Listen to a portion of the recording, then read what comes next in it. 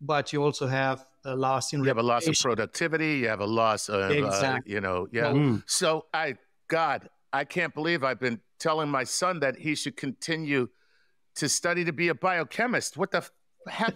He's in the wrong business. He's in the wrong business. But i got one other thing i have to like just get clear in my head. So that means in your business you're worth one and a half trillion dollars to this world if you can prevent that if from you can happening. prevent it, right? Okay, that's fact one. Fact two, it would protect everybody, which is not the case. Okay, but here's my thing: if someone retains you to protect their organization, then they're putting all their trust in you.